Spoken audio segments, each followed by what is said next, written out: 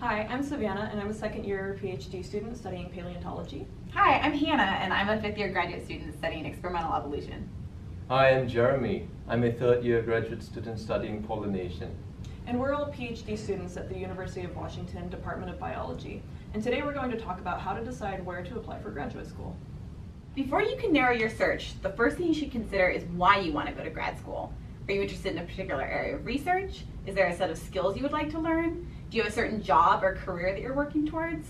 By understanding your motivation, you can better narrow down your options to programs that will best prepare you for whatever lies ahead after grad school. Once you have a sense for what is motivating you, you can begin to consider what attributes you're looking for in your graduate program. There is a lot of variability both between and within graduate programs, so we have narrowed down a short list of things you will want to focus on when looking at graduate schools. Remember, there is no right or wrong way to sort your list. Your goal is to find the right program for you and no one else. Start by assigning some sort of score to each of the following attributes by how important they are to you. The area of research, the specific advisor, access to collaborations, access to funding, size of the lab or program, importance of rotations, approach to teaching experience, location, diversity, and support for significant others and or children. This may seem like a long list, so we'll break down what we mean by each of these things. Since the majority of your time in grad school will be spent doing research, let's start there. Some people may enter grad school knowing exactly what they want to study. If this is you, then you may rank this pretty high on your priority list and only apply to programs that cover your research interest. Others may want time and exposure to a variety of labs before they settle into a full-time position. If this sounds like you, then it may be more important to find a program that allows or even requires rotations in your first year so you can be exposed to a variety of options before settling on a single lab. This goes the same for ranking the importance of working with a single advisor. For some people, there is only one person who they want to work with, and that will obviously narrow down their search to a single institution. For others, that may be unimportant so long as they can find an advisor they enjoy working with. However, if you find yourself applying to a school for a specific advisor, you do want to offer a word of caution. There is a big difference between admiring someone's work and being able to work productively with that same person. People are complex, and even if you share a research interest, your personalities or philosophies may not align. Therefore, once you are seriously considering working with a particular advisor, it would be wise to visit the lab or chat with the advisor and lab members online. Other things that will affect your research while in grad school are collaborations and funding. Having access to other PIs, departments, or even institutions can offer really exciting collaborations. If that's important to you, then you may want to restrict your search to programs or labs that make collaborations easy. Sometimes it's hard to find this information without talking to someone, but it's something to keep on your radar when you start interacting with potential future advisors or programs. When it comes to funding, there can be many differences between schools, programs, and even within labs. Perhaps the most important thing to consider here is if funding is guaranteed during your tenure in grad school.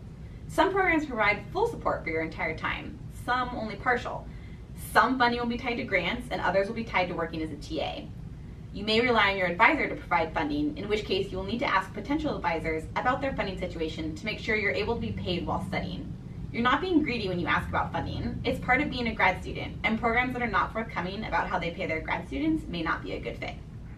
This goes for benefits as well. While in graduate school, you will need things like medical insurance. Again, there is a lot of variability here, so you will need to decide for yourself how important things like this are. Other benefits that you may be interested in are things like access to student resources such as campus fitness centers, subsidized student housing, or reduced public transportation costs. Additionally, if you are coming with a significant other or dependents, you will need to consider things like employment opportunities for your partner or access to childcare. These are aspects that can have a substantial impact on your quality of life while in grad school. You should also consider how important access to teaching opportunities is for you. There's a spectrum of approaches to teaching in grad school. Some programs may actively dissuade you from teaching as it may take away time from research. Some will allow their grad students to be TAs and some will require it. There are even programs that will allow their students to serve as an instructor of record and teach their own college course. If you're interested in staying in academia after grad school, opportunities like these can offer some great training. Another thing to consider when looking at grad programs is the diversity of the people working alongside you and the program's dedication towards equity and inclusion. Graduate school can be especially stressful for members of underrepresented or marginalized groups, so it's important to find a program that prioritizes maintaining a supportive environment for all its students. Finally, it is always important to consider location. Do you want to be in the city? In a more rural area? Do you want to remain close to family? Is there a part of the country or world that you are eager to live in? Again, this may seem like a minor consideration, but it can have a huge impact on your overall quality of life.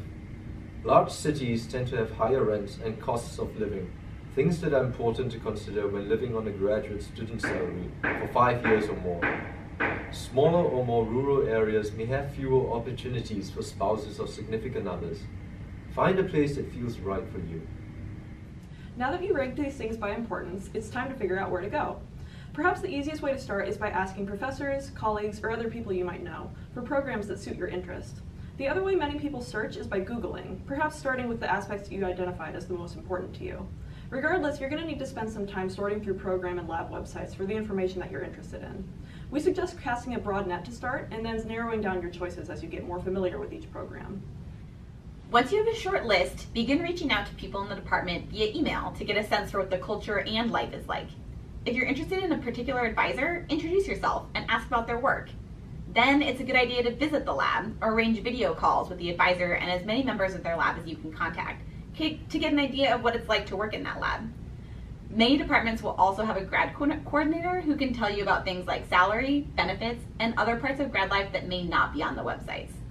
Regardless of where you're looking, make sure that each program you apply to has several labs of interest to you.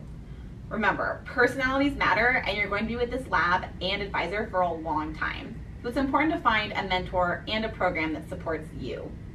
Applying to graduate school is both stressful and exciting.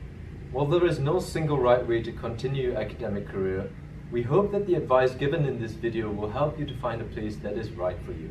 For more information about interviewing, funding, and other topics, check out our other videos. Thanks for watching.